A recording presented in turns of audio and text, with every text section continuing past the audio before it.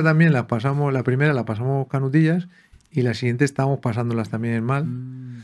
Y llegó Valdano y nos cambió un poco la- el estilo de juego. ¿Cómo, cómo es el estilo de Valdano? ¿Cómo... Bueno, allí lo que generó fue una reacción eh, en, en lo que es la concepción o el estilo del juego, eh, avanzando mucho la línea defensiva y provocando eh, que el equipo contrario tuviese menos espacios y entrara mucho en fuera de juego, ¿no?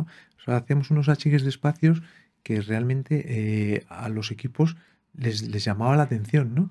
O sea, nosotros eh, les dejábamos un campo muy cortito, ¿no? Y les dábamos el campo, pero siempre había presión sobre el jugador que tenía el balón. Entonces, a los equipos contrarios les- como que les quemaba el balón, sí, les Ah. quemaba el balón y entraban mucho en fuera de juego. Entonces, eh, Jorge nos, nos enseñó eh, a nivel colectivo y a nivel individual, eh, junto con Ángel Capa, pues muchas, eh, muchos conceptos que hasta entonces mm, casi nadie conocíamos, ¿no? Claro. Fue uno de los entrenadores que tuvo. Mira, yo tuve mm, varios entrenadores en los que, eh, que siempre recalco en mi carrera, ¿no? Y Jorge es uno, ¿no? Porque junto con Ángel Capa hicieron, o sea, nos enseñaron cosas que, que no habíamos visto antes. Tú con 25 años te llega un entrenador que, que dice, ostras, esto no lo había visto antes. A mí me pasó con Leo Hacker en el Real Madrid. Mi primera temporada en el Real Madrid, Leo Hacker eh, empezó con, una, con un método de entrenamientos que yo no había visto en mi vida. En el año 87, un tipo que te, que te dice, no, vamos a hacer un entrenamiento con limitación de toques y espacio reducido con porterías pequeñas. Y digo, ¿qué dices? No se había visto nunca. No, no, yo, yo- no lo, yo no lo había visto en mi vida. Y digo, joder, pues vale. Y entonces, nada, pues eso, claro, nos dio mucha dinámica con el juego, el pase. eh, claro, tenías la limitación de los toques, que tenías que soltar el balón más rápido. Él no sé, eh, por ejemplo, Leo Hacker nos decía, "Mm, lo que tiene que correr es el balón, no el jugador. Nosotros estábamos ahí como locos, aprendiendo, aprendiendo a esa, esa dinámica. Eh, Jorge Valdano fue otro de los que eh, nos enseñó a nivel individual conceptos que no habíamos entrenado nunca. Y luego, eh, yo luego tuve otros entrenadores como Vicente Cantatore o, o Jupp Heynckes, que eh, fue la bomba. ¿Sí? Sí, Heynckes, sí, pero, pero no por sus métodos, sino por su, su gestión en el vestuario, ¿sabes? Algo que, que a mí me cambió la visión de los entrenadores, ¿no? ¿cómo, cómo era? Pues eh, hacía.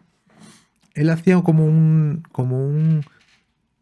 un grupo de jugadores veteranos que decidía junto con él cosas que afectaban al grupo. Entonces, eh, claro, eso era muy, muy importante para el cuerpo técnico y para el grupo a la vez, porque como que fusionábamos eso, dos. eh, las dos ideas y esto tal. Entonces, a mí me llamó mucho la atención porque tampoco lo había hecho con nadie. Porque tampoco yo era veterano a lo mejor, pero vamos, tampoco los jugadores veteranos me contaban que lo hicieran con ellos, ¿no? Entonces, eh, esa fusión de equipo técnico y, y veteranitos del club, del, del equipo, pues hacía que todo congeniase mucho mejor, eh, organizamos los viajes, tal, no sé qué. Allí en, en- en- en Tenerife era muy importante los, los, los viajes, porque hacíamos más saltos que Claro. un saltamontes. O sea, íbamos a Madrid, de Madrid íbamos a, a, a Pamplona, de Pamplona en autobús a no sé dónde, tal, no sé qué, era una Claro, locura. ahora puede haber muchas más conexiones, pero antes era un poco. Claro, entonces. Jupp Heynckes eh, eh, nos llamó y nos dijo, oye, aquí hay que hacer un charter, vamos a hablar con el presidente, tal, no sé qué, hay que hacer charters directamente a la ciudad donde jugamos. Y consiguió hacer charters. A nosotros eso nos facilitaba, llegamos más descansados, no sé. Ah. Y luego la gestión, oye, ¿qué os parece este equipo que voy a jugar, tal, no sé qué? Y nos hacían, o sea, una manera, una visión totalmente diferente.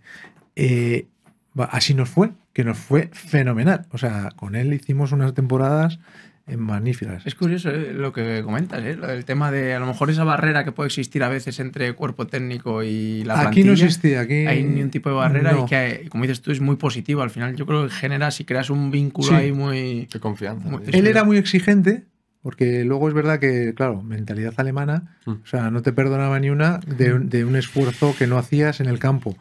Y él te exigía luego, ahí.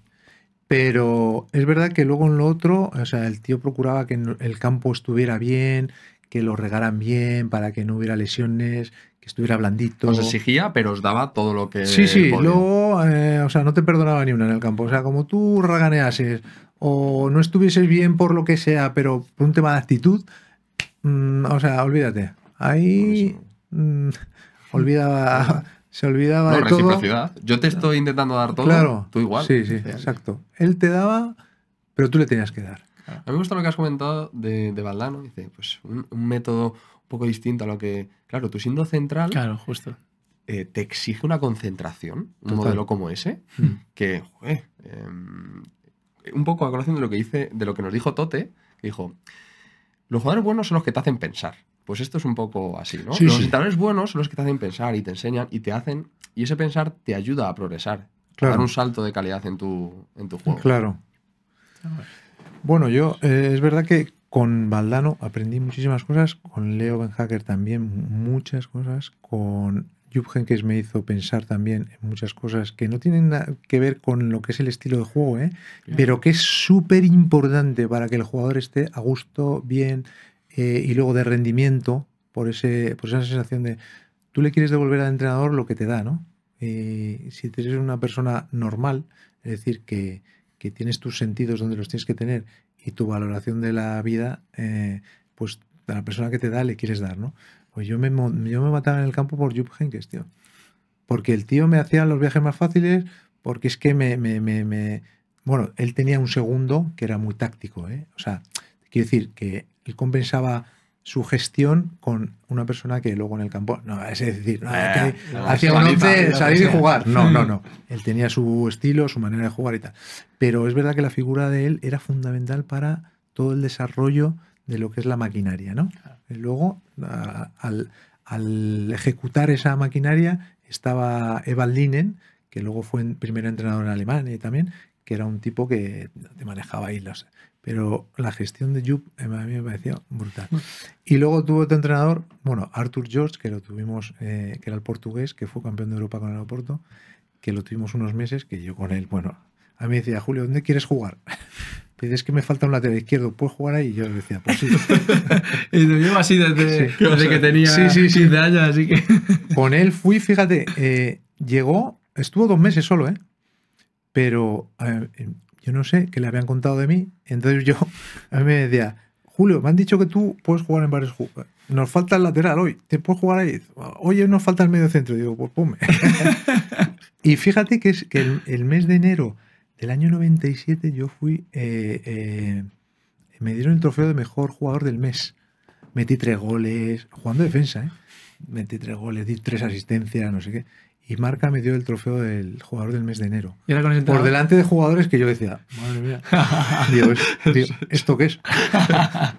Pero bueno, él tenía, eh, bueno, yo consumo, cuando llegó al club le hablaron de jugadores, tenía mucha confianza y, y me le dieron buenas referencias mías. No sé si respondí luego. Hombre, pero- te vería capaz, si no, no te lo Sí, pide. sí, pero sí. Si te lo pide sería por algo. Y luego ten- tuvimos otro entrenador después de Arthur Jones que, que para mí me ha dejado mucha huella, que es Juan Malillo, que está ahora en el Manchester City con Pepo Guardiola, que esto es otro mundo. Eh, este, si no inventó el fútbol, le faltó, le faltó poco. Eh, no sé, es que, lo que recuerdo que en los primeros entrenamientos eh, nos, nos estuvo en el campo parados una hora y media, los primeros 10 entrenamientos, parados allí moviéndonos, caminando. Y nosotros no dábamos crédito. Para colocarnos en el campo, para hacer los movimientos cuando el balón estaba en un sitio, cuando el jugador, eh, cuando tu compañero hacía un movimiento, y él te decía, tú tienes que venir aquí, tú tienes que hacer esto. El delantero centro, cuando el extremo hace esto, tiene que venir aquí, el medio centro tiene que irse allí, tal, no sé qué. Bueno, un quilombo allí. O sea, un, un- yo es que no, no- no me enteraba al principio, pero claro, a base de hacerlo, hacerlo, hacerlo al final. Y, y, bueno, fue un método que, que fue revolucionario, ¿no? O sea, Además, no estaríais acostumbrados también, obviamente, No, no, no, nada. O sea, era no todo- exi- ni existía, a lo mejor eso no, en no, no, lado. eso no, no existía. Era todo muy zonal, eh, atacando y defendiendo, o sea, terminabas donde luego defendías, o sea, tenías que tener una parcela que, que dependiendo de dónde estaba el balón, tú estabas.